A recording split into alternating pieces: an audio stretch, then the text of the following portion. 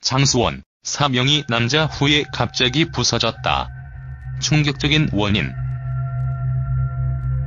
잭스키스 장수원이 화제를 몰고 다녔던 13세 연하 여자친구와 결별했다. 전 여자친구인 쇼핑몰 모델 여성은 현재 새 사랑을 찾은 것으로 보인다.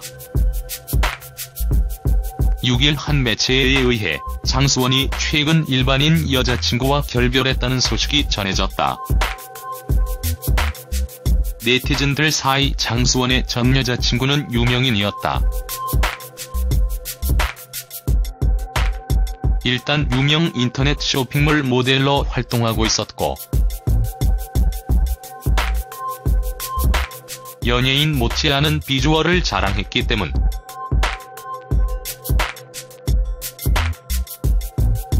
이자 닮은 꼴로 눈길을 끌기도 했다.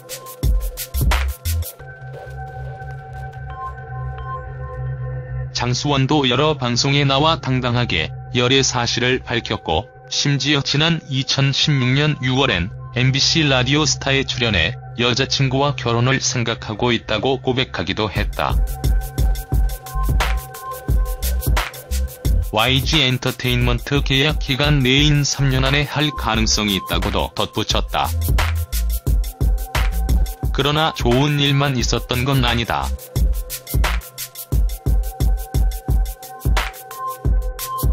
장수원 전 여자친구는 팬들의 비난과 악플에 시달려야 했다. 해외 팬미팅 등에 동행했다는 의혹이 불거지면서부터다. 이에 대해 이 여성은 자신을 둘러싼 논란에 대해 반박하며 제가 스트레스 안 받고 육안 받고 살 길은 헤어지는 것 그거 딱 하나겠죠.